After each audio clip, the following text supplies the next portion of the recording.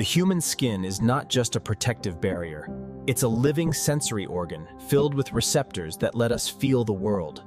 Let's peel back the layers, from the epidermis down to the dermis wormus, to reveal where sensory receptors truly live.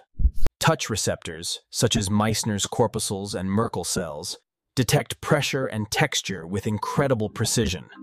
Located near the surface, Meissner's corpuscles respond to light touch. Every gentle brush you feel starts here. Merkel cells, embedded in the basal layer, sense shapes and textures, translating contact into perception. Deeper within, Pacinian corpuscles detect vibration, and they are the resonators of the human skin. Ruffini endings sense skin stretch, giving the brain information about motion and grip.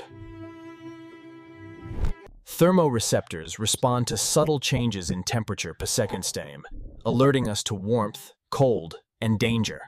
Cold receptors activate when temperature drops, sending quick warning signals through sensory neurons. Heat receptors, often free nerve endings, keep us aware of warmth, warmth, essential for survival and comfort. Pain receptors, or nociceptors, detect potential tissue damage to plage, our first line of defense against harm. Each signal travels through complex neural pathways, reaching the brain in milliseconds. In the somatosensory cortex, these impulses become feelings, tonits, touch, warmth, or pain.